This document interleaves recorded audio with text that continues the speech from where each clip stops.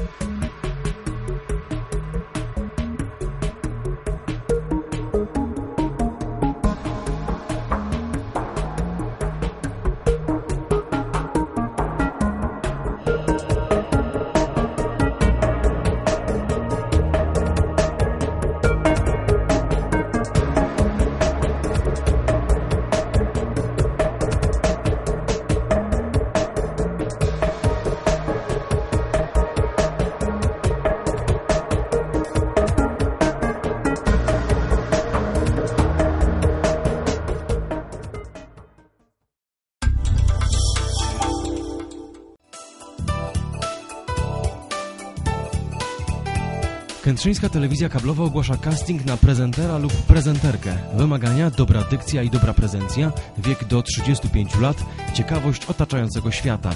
CV ze zdjęciem prosimy przesyłać na adres Kętrzyńska Telewizja Kablowa, ulica Wojska Polskiego 23 11 400 Kętrzyn do 27 września 2013 roku. Zaznaczamy, że odpowiemy tylko na wybrane oferty.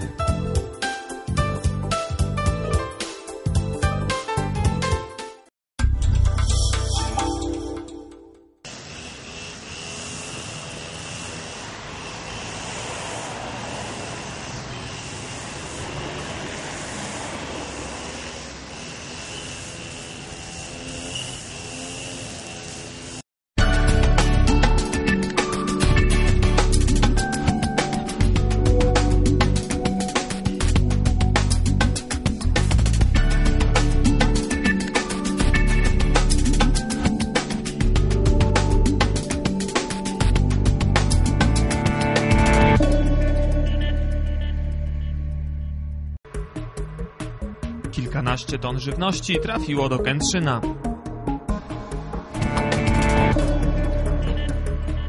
Specjaliści rozmawiali o walce z fałszerstwami dokumentów. W gimnazjum nr 2 zaprezentowano wystawę rzeźby.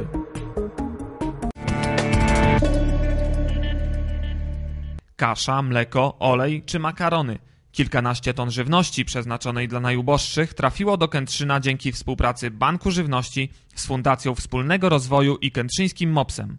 W zeszłym tygodniu przybyła dostawa e, około 13 ton e, żywności, którą, e, którą wraz z Miejskim Ośrodkiem Pomocy Społecznej w Kętrzynie dystrybuujemy do osób najbardziej potrzebujących. Są to takie produkty jak kasza, ryż, mleko, e, koncentrat pomidorowy czy e, konserwy. No i tak jak już tu pan redaktor wspomniał wcześniej, e, te nasze słowa nie są rzucane na wiatr i działamy. Żywności w magazynach jest już dużo, a będzie jeszcze więcej, bo niebawem do naszego miasta dotrą kolejne transporty. W przyszłym tygodniu spodziewamy się dostawy z Olsztyna. Jeżeli to jest dostawa z Olsztyna, to e, z tego co mi wiadomo, to będą to e, produkty nabiałowe, czyli e, sery, mleko, również olej do smażenia. Także w następnym tygodniu to będzie też około gdzieś 15 ton żywności, które są, dos- zostaną dostarczone z Olsztyna do Kętrzyna, a wspólnie Fundacja Wspólnego Rozwoju wraz z Miejskim Ośrodkiem Pomocy Społecznej w Kętrzynie rozdystrybuuje do najbardziej potrzebujących. Pozyskana żywność trafi do najuboższych mieszkańców naszego miasta. Aby otrzymać taką pomoc, wystarczy spełniać odpowiednie kryteria. Mogą skorzystać osoby, których dochód y, nie przekracza 150% na, y, kryterium dochodowego według ustawy o pomocy społecznej.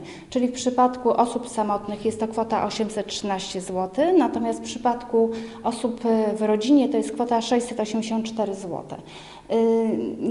Dopuszczamy przekroczenie tego kryterium w takich sytuacjach kryzysowych, szczególnie uzasadnionych, y, do 200%, ale no później, później y, mm, podopieczni otrzymują mm, tylko i wyłącznie 50% produktów podstawowych. Jak otrzymać żywność? To bardzo proste. Żywność jest wydawana y, w naszym magazynie Miejskiego Ośrodka Pomocy Społecznej przy ulicy Sikorskiego 61. E, Osoby, które spełniają kryterium mogą się zgłosić do Miejskiego Ośrodka Pomocy Społecznej póki co jeszcze na Górnej 8 E, i tam otrzymają taką kartkę żywnościową i z tą się, kartką kierują do magazynu. W koszyku jest 16 produktów. Na dzień dzisiejszy mamy w magazynie 6 produktów. E, Takie y, szczegółowe informacje możecie Państwo e, e, możecie skorzystać ze strony internetowej, może powiem mopscansion.pl Ym, i tam są aktualne informacje. Fundacja Wspólnego Rozwoju pomaga mieszkańcom nie tylko przez pozyskiwanie żywności. Michał Krasiński zaprasza wszystkich chętnych na darmowe porady prawne. To jest kolejny, kolejny z, mm, z naszych projektów. E, W mm, naszej lokalnej gazecie e, nasze miasto Kętrzyn.pl można e, odnaleźć ogłoszenie o poradach prawnych, które odbywają się, tak jak już wcześniej wspominaliśmy, w poniedziałki, środy i piątki w siedzibie fundacji w zabytkowym ratuszu i zapraszamy. Gdy jedni chronią granic, inni wymieniają doświadczenia, by ta ochrona była jeszcze lepsza. Kętrzyńskie Centrum Szkolenia Straży Granicznej już po raz szósty było gospodarzem Międzynarodowego Sympozjum Ekspertów Kryminalistyki Służb Granicznych. W tym roku gościmy licznych przedstawicieli zarówno z kraju, jak i z zagranicy. Biorą w sympozjum również udział eksperci Polskiej Straży Granicznej, wykonujący na co dzień e, ekspertyzy kryminalistyczne dokumentów, e, które towarzyszą podróżnym. Towarzyszą nam w tym roku przedstawiciele Europejskiego Urzędu Policji, Europolu, e, Centrum Personalizacji Dokumentów, Ministerstwa Spraw Wewnętrznych. Jest z nami przedstawiciel Narodowego Banku Polskiego, środowiska naukowe reprezentują przedstawiciele Uniwersytetu Warszawskiego oraz Warmińsko-Mazurskiego. E, Towarzyszą nam tradycyjnie również e, przedstawiciele policji reprezentujący właśnie laboratorium kryminalistyczne e, zarówno z Warszawy, z Olsztyna oraz inne służby mundurowe.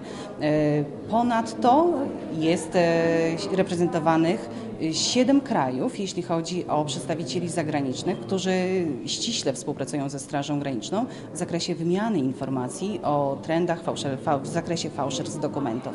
Na sympozjum tradycyjnie pojawili się przedstawiciele wszystkich służb i instytucji, które na co dzień mają styczność z dokumentami i ich ewentualnym fałszerstwem.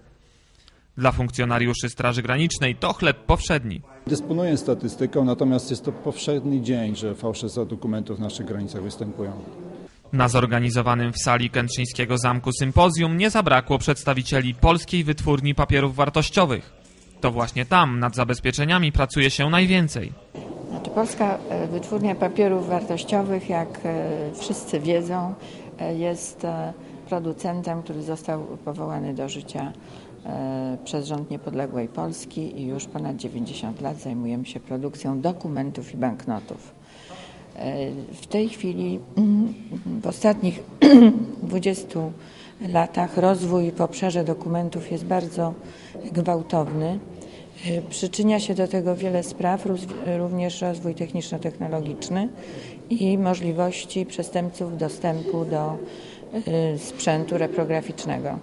Wszyscy wiedzą, że bardzo pomaga przestępcom. Natomiast e, w tej chwili mm, jest to bardzo skomplikowana dziedzina, wymagająca e, znajomości e, wielu obszarów, żeby rzeczywiście osiągnąć skuteczność zabezpieczenia dokumentów. Banknotów również, ale teraz skupiamy się na dokumentach. E, Posługujemy się mm, dokumentami na co dzień, dlatego też może, e, można odnosić wrażenie, że to jest coś prostego, normalnego, bo mamy to w kieszeni bądź w torebkach. E, Ale tak nie jest. E, Nie zawsze e, wszyscy zdają sobie sprawę z tego, że dokument jest e, elementem naszego bezpieczeństwa i bezpieczeństwa naszego państwa. W tej chwili nawet nie mówi się o tym, że dokument się produkuje. Dokument to jest bardzo skomplikowany proces jego tworzenia od etapu projektowania poprzez udzielanie informacji, wiedzy na temat weryfikowania, ale także wykonywanie ekspertyz i mm, dystrybucji, która również musi być bardzo bezpieczna. Wagę takich konferencji podkreślali wszyscy zaproszeni goście. Sympozjum podsumował profesor Jacek Moszczyński z Uniwersytetu Warmińsko-Mazurskiego. Ja e, pracuję w tej chwili na e, Uniwersytecie Warmińsko-Mazurskim w Katedrze Kryminalistyki. E, i oczywiście e, zajmuję się w tej chwili e, dydaktyką, jak również badaniami, badaniami naukowymi związanymi między innymi również z dokumentami, ale jestem również praktykiem, ponieważ pracowałem przez wiele lat w laboratorium kryminalistycznym policyjnym, badając, zajmując się badaniami daktyloskopijnymi, a później właśnie dokumentami, także mam spojrzenie powiedzmy i y, praktyka, i teoretyka, i naukowca. E, Z wielkim zainteresowaniem mm, przysłuchuję się tym początkowym referatom, bo jesteśmy na początku y, tej konferencji, y, ponieważ y, te informacje, które są tutaj przekazywane, one pochodzą od wybitnych specjalistów, którzy mają, są na pierwszym froncie powiedzmy walki z przestępstwami związanymi z e, fałszerstwami e, dokumentów i stąd są, są to dla mnie niezwykle ważne informacje, którymi mogę się później dzielić e, ze studentami, jak również wykor- wykorzystywać w własnej praktyce. Fałszerstwa dokumentów to proceder powszechny. Fałszerze coraz częściej podchodzą też do tego w sposób profesjonalny. No ja myślę, że to jest y, y, oczywiście dokumenty, zwłaszcza dokumenty publiczne, takie jak y, banknoty, dowody osobiste, dokumenty pojazdów są zmieniane, są coraz lepiej zabezpieczane, ale fałszerze ci, powiedzmy fachowcy, że tak powiem, którzy zajmują się zawodowo niemal fałszowaniem dokumentów, oni jednak też starają się doganiać Ich postęp w zakresie fałszerstw jest tak duży, że Państwowa e, Wytwórnia Papierów Wartościowych ma co robić, a więc ta instytucja, która właśnie pracuje nad coraz to nowymi zabezpieczeniami. Kętrzyńska konferencja to już historia. Teraz wymianę doświadczeń trzeba tylko przekuć w efekt, czyli lepsze zabezpieczenia dokumentów. Klaudia, Jaś Fasola, oczywiście Atkinson, Ania, Jimmy Hendrix, Dwa tygodnie wytężonej pracy młodych ludzi i już można podziwiać efekty. W gimnazjum numer 2 otwarto właśnie wystawę rzeźb stworzonych podczas wakacyjnego pleneru ceramiczno-rzeźbiarskiego. Znaczy prace dzieci trwały dwa tygodnie, a moja praca i praca Marty przez całe wakacje. 36 dni same wypały. Jedna głowa to są 4 dni. Dwa dni 700 stopni piec wypala się i stygnie, e, czyli z gliny tylko, biskwit, a potem jest jeszcze emaliowany kolejne dwa dni w piecu. Także to trochę trwało. 36 dni. Pierwszy raz nie pojechałam nigdzie na wakacje, ale warto było, tak myślę. Motywem przewodnim pleneru był portret. Dzieci i młodzież stworzyły rzeźby znanych ludzi, których sami sobie wybrali. Czyli dlatego, że lub, lubię filmy, lubię stare kino nieme i dlatego był dla mnie naj, najlepszą postacią z tych wszystkich. Y, Ins, y, mogę powiedzieć, że lubię jego filmy, już- no i to w sumie tyle. Jimi Hendrix. Dlaczego? Bo podobno jest do mnie podobny. Tak? Chyba z charakteru. Z wyglądu nie? Nie wiem, raczej nie. Edward Nożycoręki. Dlaczego akurat taki wybór? Nie wiem, może dlatego, że zainspirowało mnie to, że e, trudność zrobienia szalone, wygląd i w ogóle Sam film się podobał? podobał. A e, jak trudno zrobić coś takiego, żeby taki efekt był? To znaczy, za pierwszym razem to zawsze wiadomo, że trudno, ale jak się ćwiczy, to potem coraz łatwiej wychodzi. Bo sam wiem, bo jeszcze w innych rzeźbach wykańczałem oczy, w niektórych jeszcze. I za pierwszym razem było bardzo trudno, ale potem już coraz łatwiej wychodziło. Wśród gwiazd popkultury znalazło się także miejsce dla papieża Jana Pawła II. Takie były do wyboru w sumie, także z Janem Pawłem II to już nie jedną pracę robiłam, bo i rysuję i także jakoś tak mam sentyment do tej osoby. Wraz z Katarzyną Bronakowską plener prowadziła Marta Cierluk. Przed naszą kamerą nieco stremowana, No, przyjemna, bardzo. Dzieci są skupione i, i dają radę. za to z młodzieżą dogadująca się znakomicie. Biorące udział w plenerze dzieci nie sprawiały zresztą żadnych kłopotów. Nie ma człowieka, który nie potrafi rzeźbić, malować, tworzyć, tylko nie wszyscy e, lubią to, co potrafią robić. A ja jestem nauczycielem i myślę, że tak jak Marta, po to kończymy takie uczelnie, e, Akademię Sztuk, żeby po prostu odpowiednio nauczyć, przyciągnąć. No i żeby, żeby im się chciało. I to tak właśnie jest. Mam to szczęście, zawsze powtarzam, że ja muszę spowodować, żeby dzieciom się chciało chcieć rzeźbić, malować i robić inne rzeczy, a nie e, ktoś mnie będzie rozliczał z tego, czy ja nauczyłam, czy nie. I to jest chyba najważniejsze. Są dzieci, którym się chce i nad którymi się pracuje parę lat i wiem, że jeżeli coś obiecujemy dzieciom, to należy to spełnić. Miałam cichą nadzieję, że ten plener będzie, oczywiście zapowiedziałam i dlatego też ten plener po prostu był. To tak jak, tak jak zazwyczaj, jeżeli możemy dotrzymać danego słowa, czym byłby nauczyciel, gdyby nie dotrzymał? Albo kim byłby? Na otwarciu oprócz samych autorów pojawili się także rodzice i koledzy młodych rzeźbiarzy.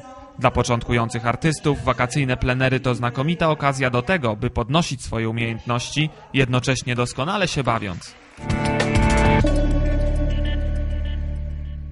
Gazeta w Kętrzynie, Życie Kętrzyna, a od niedawna także Nasze Miasto Kętrzyn. Tytułów gazet w naszym mieście nie brakuje, a od piątku do listy dodać można kolejny, czyli Tygodnik Kętrzyński.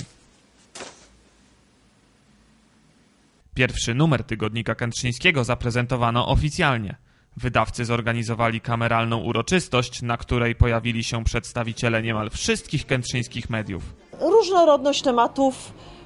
y, Myślę, że to już jest właściwie szósty, y, szósty y, tytuł na naszym rynku.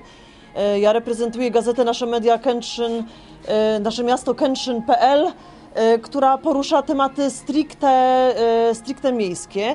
No, czy jest miejsce na tym rynku? Czas pokaże. Ja zawsze uważam po 18 latach, a jest to jednak już pełnoletność y, prowadzenia przeze mnie życia y, Kętrzyna, że każdy szuka jakiejś szansy, każdy szuka możliwości, drzemiących możliwości. Tutaj widzę, że jest i trochę porad, i trochę historii, e, też takie e, żyć, z życia e, miasta, powiatu.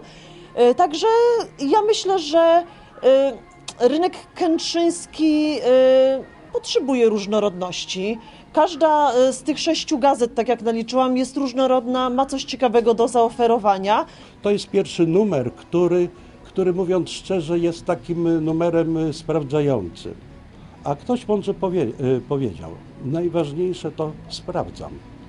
A sprawdzać będą i weryfikować czytelnicy. I to uważam, że jest ten element najistotniejszy. To jest pierwszy numer, więc jakby trudno y, oceniać y, w jakim, y, jak, w, jakim y, powie, w jakiej płaszczyźnie ta gazeta będzie się rozwijała, prawda? Jakie tematy będzie poruszała, czy może bardziej społeczne, czy, czy też takie bardziej luźne. Także ja życzę im jak najlepiej, ponieważ są to moi przyjaciele. Z Dorotką współpracowałam przez wiele lat y, przy okazji realizacji innego tytułu. Z Robertem Majczakiem również znam się nie od dziś, więc szczerze gratuluję i życzę im wielu sukcesów. Jest to, muszę powiedzieć, bardzo trudny i niewdzięczny kawałek chleba. Dzisiaj tak rozmawialiśmy przed y, przyjściem, bo niektórzy się zdziwili, że ja idę. Ja uważam, że należy korzystać z tego typu zaproszeń, nie stawiać żadnych barier, nie obrażać się, dyskutować, a co będzie, no to, no to zobaczymy. Ciężki, ciężki kawałek chleba na rynku medialnym, nasze osiągnięcie i to jest dumą dla mnie, że ja prowadząc przez 18 lat nie przegrałem żadnego procesu sądowego. Redaktorem naczelnym nowego tygodnika jest Robert Majchrzak, który jeszcze niedawno pracował na tym stanowisku w jednej z mrągowskich gazet. Co zamierzacie sobie za cel postawić? O czym pisać? o wszystkim, o nas. Tutaj żyjemy, tutaj mieszkamy i chcemy pisać o tym, co się dzieje.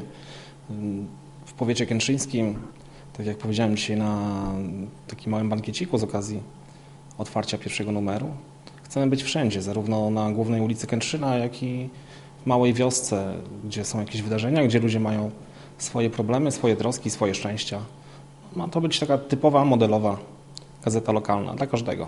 Mamy, mamy zamiar współpracować e, ze wszystkimi. E, Chcielibyśmy, naszym zamysłem jest, e, aby gazeta była tworzona przez mieszkańców całego regionu, współtworzona, czyli no mamy, mamy nadzieję, że żeby czytelnicy będą się do nas odzywać, zgłaszać jakieś problemy i, i tematy, tak, które tutaj na łamach gazety e, z przyjemnością poruszymy. E, Będziemy starać się być wszędzie, tak, wszędzie, gdzie będziemy potrzebni. Nowa gazeta ma swoją siedzibę przy ulicy Trauguta. Jest to centrum handlowe, e, parter. Także jesteśmy, jesteśmy widoczni po wejściu do centrum handlowego. Na pewno e, wszyscy, wszyscy zobaczą. Tutaj mamy ładny napis na, na szybie. E, A z czasem pojawi się pewnie mm, pokaźny baner, e, który będzie informował potencjalnych klientów o tym, że redakcja się tutaj mieści. Kolejne numery tygodnika kętrzyńskiego ukazywać się będą w każdy piątek.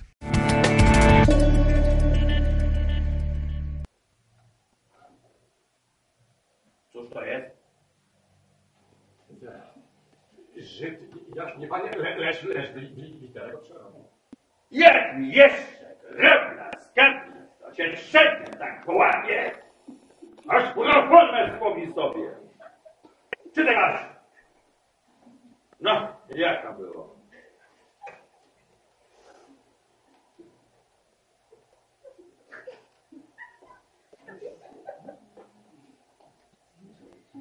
Ba, bardzo proszę.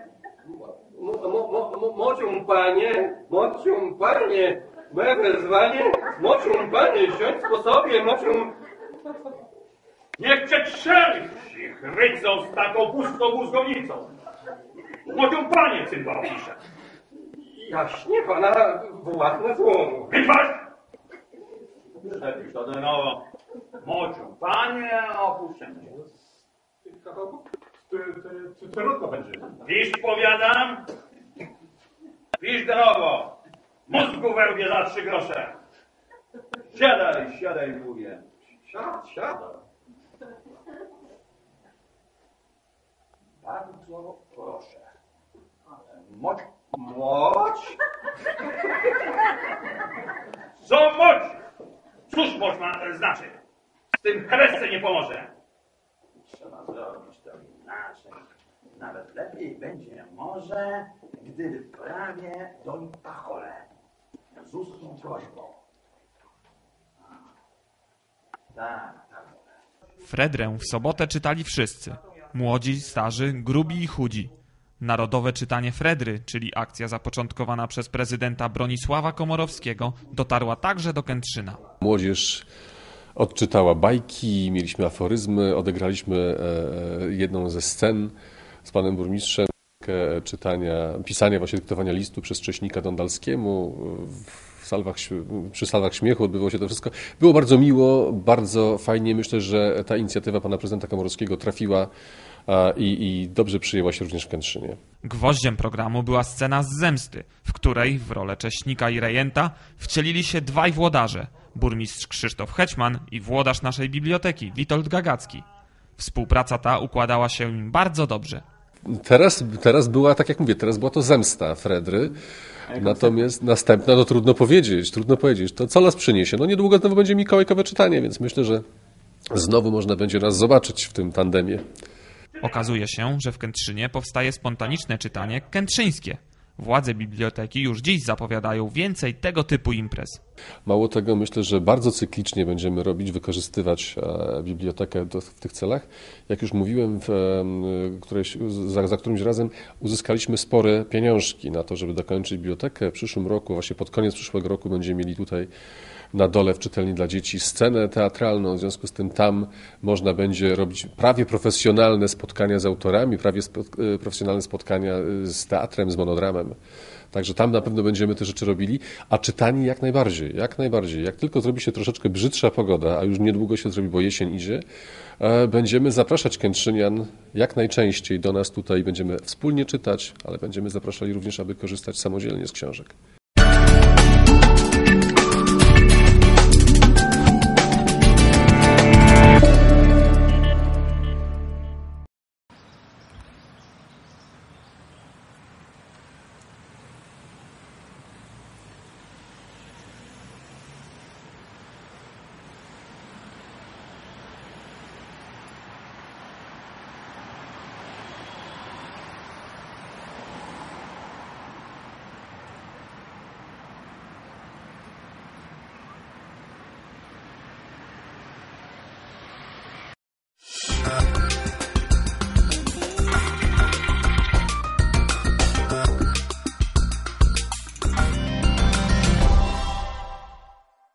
Andrzej Adamiak, witam Państwa w rozmowie tygodnia. Dziś w naszym studio gościmy Stanisława Kozeko, kętrzyńskiego siłacza, najsilniejszego człowieka w Kętrzynie. No nie, powiedzmy, no nie wiem. No, znaczy, Na siłowni, na której Pan trenuje, nie ma silniejszych? no nie no, bo w, te- w przeszłym tygodniu wycisnąłem 220, a gdy Pan był, to wyszło, chciałem pobić rekord świata, ale wyszło 210. No, no nie zawsze jest, nie zawsze jest forma taka, żeby na, na każdym treningu bić rekord, prawie rekordy świata. Na Pana koncie już y, wiele sukcesów. Jakie są te najważniejsze? Y, W 2012 zdobyłem mistrza Polski, dwa rekordy Polski, mistrza Europy i mistrza świata. Jaki jest obecnie Pana rekord życiowy? No 220 zrobiłem. A rekord świata ile wynosi? 220, zrównałem się z rekordem świata. Trzeba by go było pobić teraz. No tak, chciałbym to zrobić na Mistrzostwach Świata. No. A wie Pan, jak to w sporcie jest? Najbliższa okazja właśnie na No, Mistrzostwach tak, Świata. tak. Wyjeżdżam 22, a 25 września startuję na Mistrzostwach Świata Esberg koło Lipska.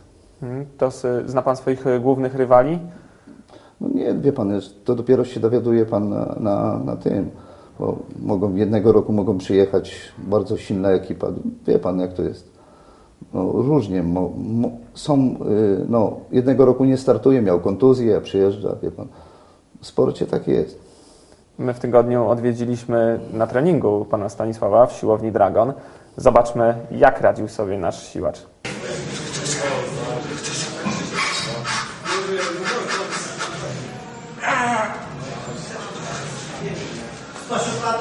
Jedziesz, Stasiek, jedziesz!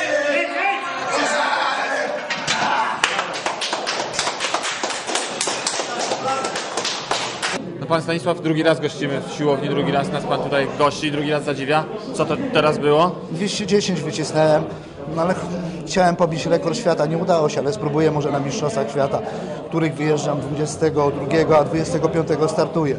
W Esberg, to jest koło e, Lipska. Widzę, forma rośnie. No rośnie, to jeszcze zostało mi dwa tygodnie, postaram się podciągnąć tę formę. Ja go znam chyba 16 lat, ale wiem, że dużo wcześniej. Uczestniczył w zawodach, jeżeli chodzi o trójbój siłowy, w kulturystycznych pokazach i tak jak, jak go poznałem, to już, to, już, to już był legendą. A minęło 16 lat i on cały czas funkcjonuje na takim wysokim poziomie, także, także po prostu wszyscy go bardzo szanują i, i, i cenią to, co robi. Y, Młodzież na pewno się garnie, dużo młodzieży jest. y, Wydaje mi się, że tak jak rozmawiam z kolegami młodszymi, to podziwiają Staśka jego charyzmę, jego, jego zaangażowanie, jego wyniki, także jakby chcieli tak dorównać i, i, i coś zrobić y, w tym, w tym stylu, co Stasiu robi, bo chłopak ma chyba 57 czy 56 lat, cały czas jest w formie, zdobył mistrza świata, mistrza Europy. Ile to było na sztandze? 200, 210. 210 kg. To spory wysiłek i sporo treningu wymaga. No tak, no, starałem się bardzo się przygotować, bo podniosłem sobie wysoko poprzeczkę, żeby dojść do tego rekordu świata. No jakoś się udaje, zobaczymy jak na Mistrzostwach Świata wypadnie. I jak przygotować się do takiej imprezy? No trochę parę miesięcy trzeba się naprawdę przygotować i to ciężkich treningów. A y, pan z kimś konsultuje te treningi? Ktoś Tak, pomaga? mam, mam kolegę, takiego serdecznego przyjaciela na Śląsku, rekordzistę świata i mistrza świata i pomaga mi tam, doradza mi, jak tam, jak, jakie błędy popełniam, to się radzę, czy, czy jak mam zrobić. Co jest y, tak naprawdę ważne, bo y, widzieliśmy, że nawet ubiór jest ważny w y, takim wyciskaniu. Tak, to jest, no, to jest potrzebne, to jest wiadomo. Bez, te, bez tego teraz, wie pan, poszła taka technika, że bez tego każdy jakiś drobiazg jest potrzebny. Mhm, To na czym pan się skupiał teraz przed mistrzostwami? Na doskonaleniu czego? Nie, no po prostu trzeba było robić siłę. Bez siły to nie, no technika pomaga, ale jak siły nie masz, no to bez, bez siły nie ma, nie ma sukcesu. A taka siła przydaje się w życiu? No pewnie, że się przydaje, no. Człowiek jest bardziej, no nie wiem, mm, jak to powiedzieć, no, bardziej, no, no psychicznie jest mocniejszy, no jak, jak jesteś, wiesz, że jesteś No widzieliśmy e, na siłowni, że młodzież e, dużym szacunkiem pana darzy. No. Zna pan tych e, wszystkich chłopców, którzy tam Tak, chodzą? znam, oni przychodzą na treningi. No, dużo jest zdolnych młodzieży, ale mm, to jakoś szanują mnie trochę. Jakiegoś następcę pan sobie wychowuje? No tam jest kilku takich chłopców, których tam interesuje się, pomagam im, doradzam im. Ktoś się szykuje na to, żeby przejąć e, po panu pałeczkę, no bo lata lecą, a pan ciągle numer jeden w naszym mieście. Wie pan, no nie wiem, no będę się starał kogoś wychować. E, A od ilu lat trenuje pan e, sporty siłowe? No już powiedzmy już około 30 lat. Od czego to się zaczęło? No po prostu wcześniej biegałem, a potem zobaczyłem, że w tych sportach siłowych jestem bardzo dobry, no i zaczęło się. To wymaga poświęceń, wymaga regularnego e, chodzenia na siłownię? No tak, zazwyczaj to poświęceń, no i regularnego ćwiczenia. No i sprawia mi to przyjemność, powiedzmy. A rodzinie? No też przyzwyczaiła się rodzina, wspiera mnie. E, Lekarze nie, nie mówią, że to już wiek nie ten, że, że to już może pora się Nie no, uspokoić? powiedzmy, że jakbym przestał ćwiczyć, to jeszcze gorzej by było na pewno. Nie, nie, nie lepiej byłoby. A tak jak człowiek, jak, jak narkotyk, to ciągnie do, do sportu. Ciągnie do sportu i widzimy, że coraz więcej młodych y, ćwiczy. Tak, Tak, tak, teraz jest taki, jakby no, dużo teraz przychodzi jesienią, bardzo się, dużo młodzieży zaczęło się tym garnąć do tego. Skąd Pana zdaniem e, powód tego, że, że tyle młodzieży ćwiczy? Co ich ciągnie do tego, by być silniejszym? No nie wiem, na pewno ich ładna sylwetka, powiedzmy, bo tam dużo ćwiczy kulturystykę, no, no na pewno, no, każdy jakiś chce być wyrzeźbiony ładnie. Widzimy też y, kobiety w siłowni, też spotkaliśmy. Tak, także- tak, są i kobiety przychodzą też, ćwiczą, bo tam dużo sprzętu ten właściciel Radek Bałdyga sprowadził, dużo bieżniów jest takich dla kobiet. Pan y, startuje w wyciskaniu sztangi leżąc. Tak. E, czyli, czyli wyciska Pan jak największy ciężar. Dużo zawodników w Polsce startuje w tej kategorii? No jest na pewno, bo to bo teraz jedziemy y, dwie grupy. Jed- Jedna jedzie grupa z Warszawy, jedna z Poznania, jedna ze Śląska. Jadę z Poznania z grupą, Mhm. chłopakami. I ilu zawodników z Polski pojedzie na takie Mistrzostwa Świata? No, w każdej kategorii na przykład wagowej jest po dwóch, więcej nie może startować. Mhm. A y, Polacy w sportach siłowych na No, świecie liczą bardzo, się? Liczą się, liczą się, bardzo się liczą. Czyli do rekordu brakuje niewiele, bo już go Pan wyrównał. No tak. Teraz pora na pobicie. No tak, będę się starał, wie, ale wie pan jak to w sporcie jest, no wie pan, chcę, chcę zrobić, Do y, startu jeszcze dwa tygodnie. tak. Na czym się Pan skupi przez te dwa tygodnie? To już y, dalej ostry trening, czy już może... Nie, już bardziej tak na technikę, na sprawdzian. Czyli jest szansa na to, że powróci Pan y, do Kętrzyna ze złotym medalem. No, postaram się na pewno, będę, wie pan, ja mówiłem, w sporcie różnie może być, no, wie pan, no, starasz się, a nieraz ci nie wychodzi. To my już y, dziś zapraszamy do naszego studia po powrocie z Mistrzostw Świata. Dziękuję bardzo. Mamy nadzieję, że ze złotym medalem. Dziś e, moim i Państwa gościem był Pan Stanisław Kozeko, kętrzyński siłacz, który niebawem ma szansę zdobyć tytuł Mistrza Świata w wyciskaniu sztangi leżąc. Dziękuję bardzo. Dziękuję bardzo.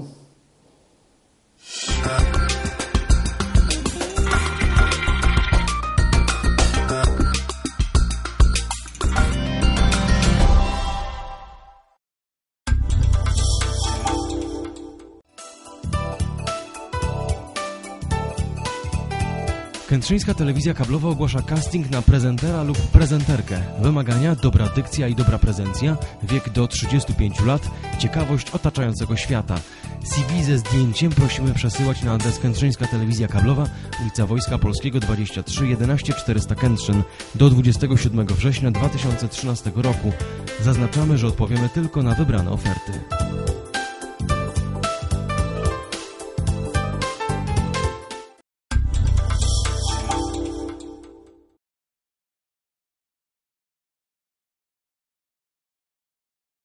Alem był przed rokiem ten katechizm dla was wydrukować, moi mili bracia, w Panie Chrystusie i tak dalej, i tak dalej.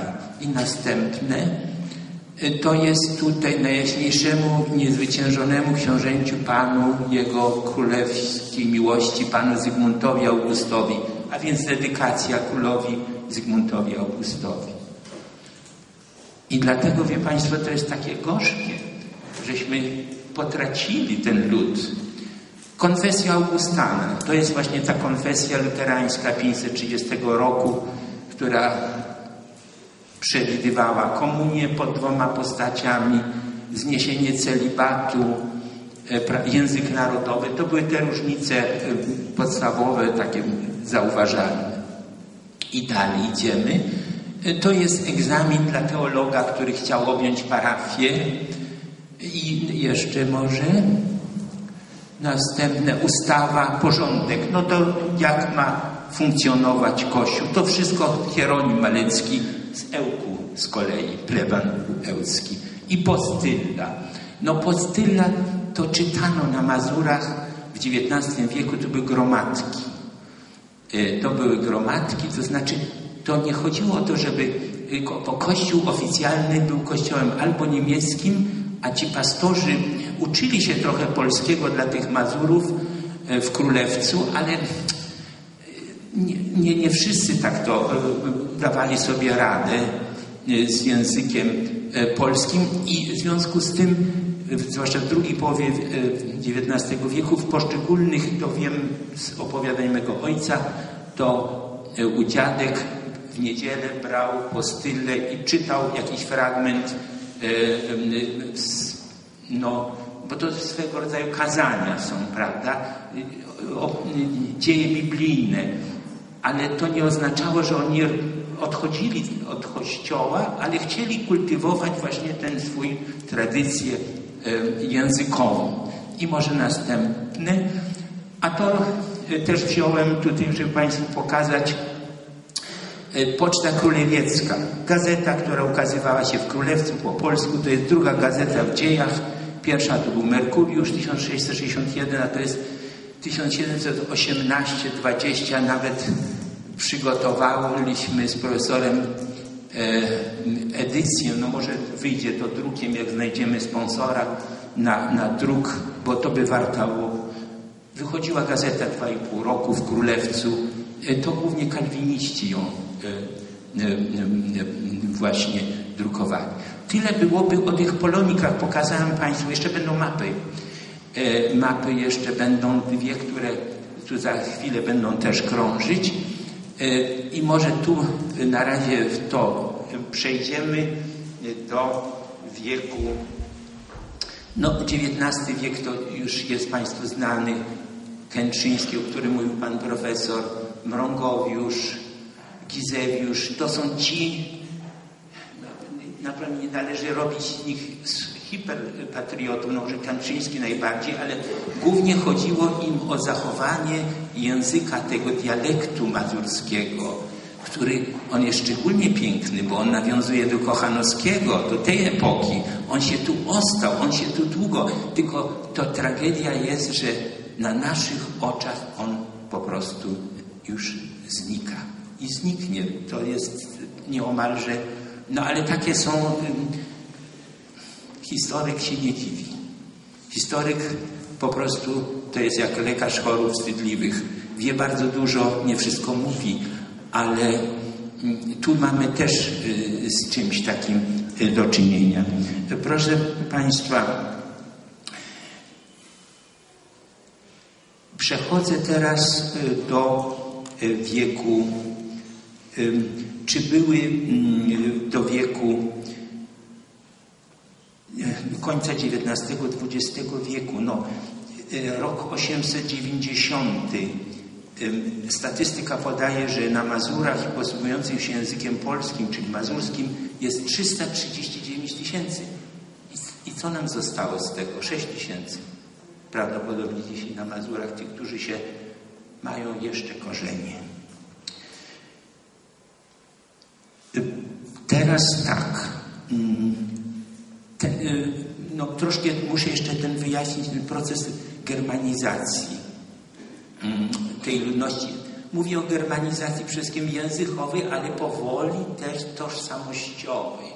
To powoli wchodzi. To, to jest y, naturalnie pewną rolę tu odegrała zwłaszcza koleje, kolejnictwo. Cała sieć kolei powstaje w Prusach Wschodnich ludzie się zaczynają przemieszczać. To nie jest tak, że jak pisze chyba, e, chyba u jest, że, e, że e,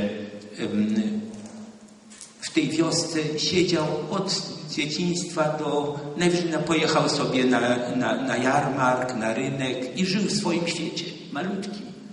A w XIX wiek otwiera, no bo już pociąg leci do, do Kętrzyna, do Giżycka.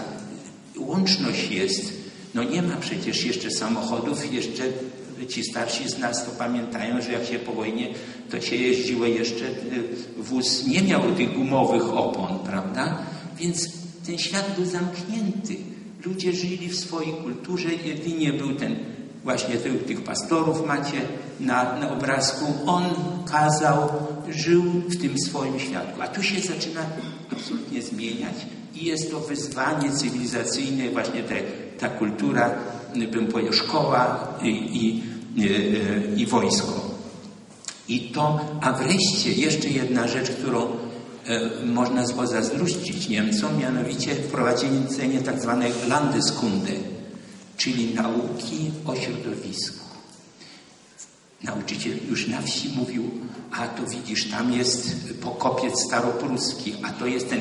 I wyrabiał więź tego młodego człowieka z jego wioską, z jego regionem. Te, te Landeskunde, a poza tym zaczęła się pojawiać literatura. Mazurzy to Giertych pisze, Jędrzej Giertych, to jest chyba pradziad tego naszego telewizyjnego Giertycha. E, on właśnie e, pisał, że Mazurzy nie wytworzyli elit, nie zdążyli wytworzyć elit swoich. To, to e, dzisiaj profesorów, no ja jestem z ojca strony się z Mazurskiej, no jest profesor Orłowski, bardzo mało się wypiło z tego ludu, wyszło, prawda, którzy by mogli jakoś zajmować stanowisko w, w świecie, reprezentować tą ludność. Więc Landeskunde miała wielkie znaczenie. I proszę Państwa, w zasadzie, bo Niemcy tutaj, jak mówiłem, w XIX wieku to walka o te dusze Mazurów i ona powoli zaczyna się przechylać na stronę niemiecką. Coraz bardziej, ostatecznie to będzie widać w plebiscycie. I tu mamy mapę plebiscytu, mamy też, ja mam te oryginały, które pani dyrektor pewnie, te oryginały tych map możemy pokazać Państwu. O, tutaj są. Proszę sobie otworzyć. A to są tutaj jeszcze może koserka, to ci Państwo, pewnie Państwo, Pan Prezydent to pewnie zna, ale a to jest też ten plon mazurski mojego ojca przedwojennego. Proszę zwrócić. Proszę Państwa, to jest mapa, ona tutaj tak nie wychodzi ładnie, to jest Leowiczel. Leowiczel. O. I ta pierwsza mapa mówi Sprach, Sprachenkarte von Masuren und die südliche Erland. Czyli mapa językowa Mazur i, pół, i południowej Warmii. I tu mamy trzy kolory.